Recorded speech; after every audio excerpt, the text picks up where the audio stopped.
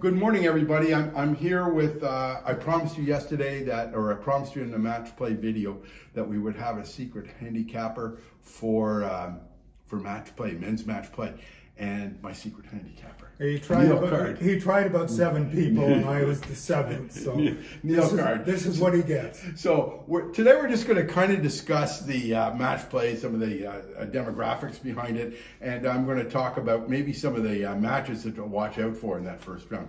So Neil, um, we've got a new division this year, the Open Division. Uh, It goes from a zero handicap to 4.9. Oh, however, if you've got a 10 handicap and you want to go in the open, you're certainly qualified. You certainly welcome to do so, and if you have, uh, but uh, oh boy, you've got a you've got a tough road to hoe. Yeah. now is that uh, still open for registration? John, No, everything is everything closed now. Everything is I am closed. not doing the draws again, folks. That's it. It's done. Okay, I wanted to get that in early because I know how much you have to do. So in the open division, we have 24 players, as John said. We didn't have an open division last year, so we're looking for an inaugural champion this year. Uh, next is the A division, which we have 13 players. Uh, last year's winner was J.H. McDonald. J.H. has moved on. He found the competition here at Carlton way too difficult, and he didn't want to be a two, try for a two-time win. Not true. Not So, true. so- Not true. well, we can say whatever we want. He's not here. Yeah. So JH, uh, JH is last year's winner. This year there will be a new winner, and John can now tell you about a few of the matches that you should be uh, watching closely and that we'll report on as the season goes on. Okay, so look in the open division, it's it's uh, oh, beautiful. the matches I'd love to see. Uh, in the first round, however, um, you know, I mean, we got some players here. I mean, Shane Stanley, number two seed, number two seed. Now Shane went to the qualifier for the Canadian Open with Jared Coyle, Aiden Coyle. Shane missed qualifying by one stroke. So we got we got some players here, folks. He's the number two seed. Jared's number one, and uh, um, it, and last year's club champion. Uh, Elliot Riddell, he's the number 10 seed in this group. Oh, group. So, so we've got we've got a, a crowd in here. Like it is going to be a, uh shootout. Uh, in our first round, the closest first round match, match however, is uh, Manny Respiro at seeded 17 and Keenan Woods 16, and uh, that should be a good match. Uh, the winner, unfortunately, has to be Jared Coyle in the first round, but but of course with these guys, anybody can win. So that's going to be a good uh, good uh, bracket to watch. The Open is always going to be exciting. And the A division, A division matchup. Um, we have uh, number one seed Matt Walsh. Glenn Coyle is the number two seed. And uh, there's not as many in this because this division goes from a 5 to 7.9. But it gives a, I mean, let's face it. If you've got a 7 handicap and you're playing against Jared Coyle who's got like a minus 1 handicap, yeah, you probably don't have a chance. So, so yeah, we created a new division, 5 and 8 to even off things. So these guys are playing straight up, and and they're very close. We don't have as many players, but it should be a good uh, good first round. So in the first round, we have a good matchup between Claude Tessier and Ken Watson. Claude's uh, uh, uh, uh, seeded eight, and Ken's nine. Okay, let's talk Perfect. about the B division now. B division, uh, a lot more players here. A lot, uh, a lot more folks fall into this handicap range. There are 29 people. Last year, Josh Busada and Josh. I apologize if that's not the exact pronunciation, uh, but last year Josh Busada was the champion of that particular division, and John's going to give you the matches to watch. Right. So the the B division now goes from 8.1 to uh, 13.9. Uh, I think in that range, or 8 to 13.9.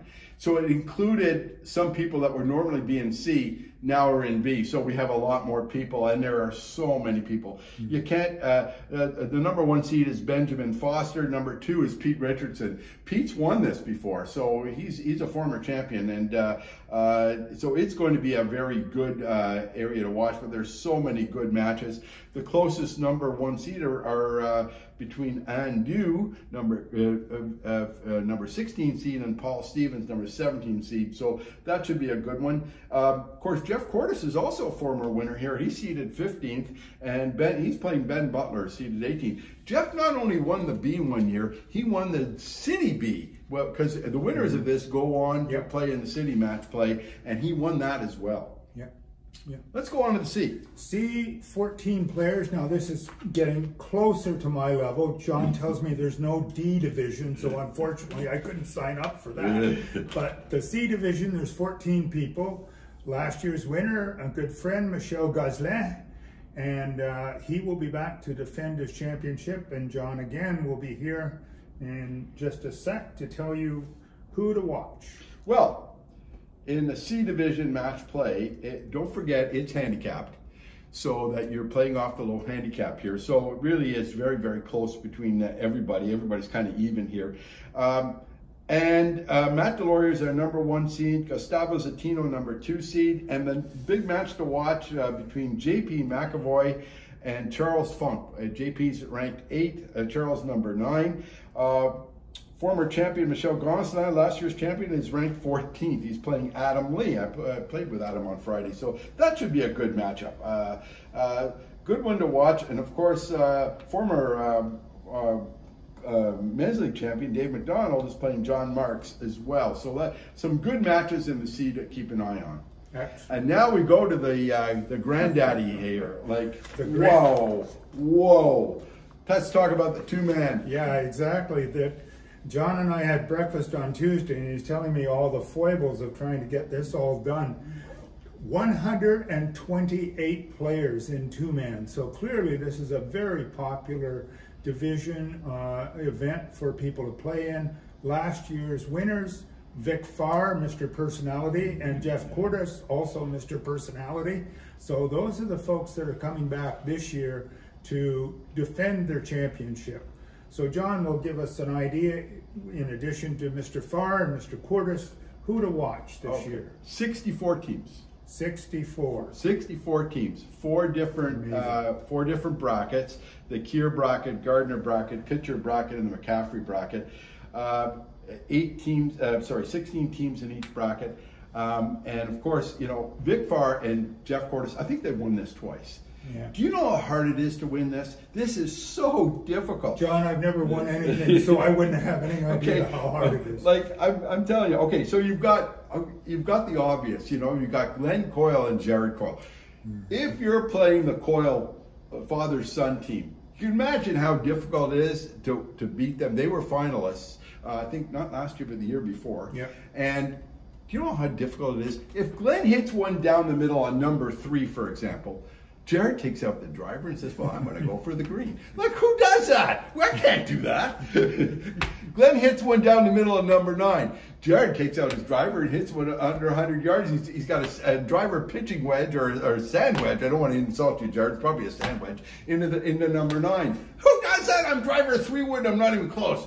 So if you've got strokes on these guys, you better use them wisely because they don't make too many mistakes.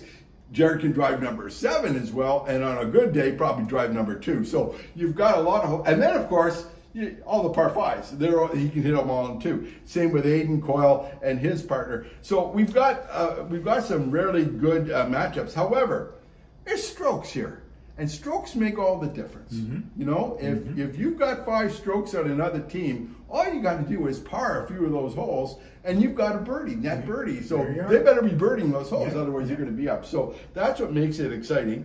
Um, so a lot of good teams here. I mean, there's just so many uh, great teams. Um, we ran into McDonald Stevens last year. They were very good, uh, and they, they eventually lost. I think in the quarterfinals. Um, our team, Bonesteel Karam, is playing a former champion, Nickel and and uh, and Van Kessel. We got them in the first round. Thank you very much.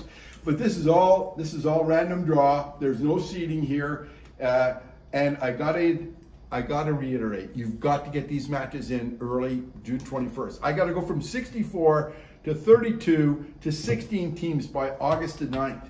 I can't do that if, if you're kind of like getting four people to agree on a time is tough. So you get those matches scheduled right away, please, please, please.